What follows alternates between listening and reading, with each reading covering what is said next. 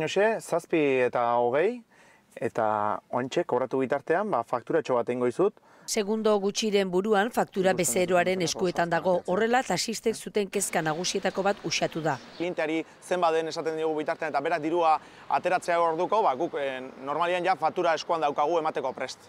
Gipuzkoako foru aldundiak ekonomia gardena sustatzeko abian jarri duen ekimenetako bat da. Taksilariak Gipuzkoako hogasunaren aplikazioa dauka bere mugikorrean eta inprimagailu txiki bat faktura emateko. Gipuzkoako hogasunak faktura guztien berri jasotzen du berehala. Aplikazio horrek jasotzen ditu salmenta horiek guztiak eta hiru orduro bidaltzen ditu e, e, ogasunera.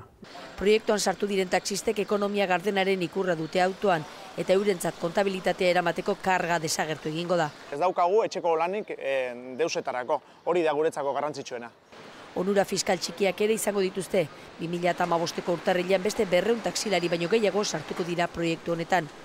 Eta Gipuzkoako hogasunaren asmoa da beste gremio batzuetan ere antzeko sistema zabaltzea, baina saltoki bakoitzak obratzeko modu ezberdina duenez, batzuek ordenagailua, beste batzuek kutsa, denbora gehiago behar du aldundiak.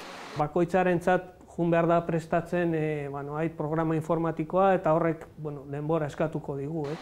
Gizartean ekonomia gardenaren aldeko jarrera itxastea da helburua, profesionalek faktura eman behar dute eta herritarrok eskatu.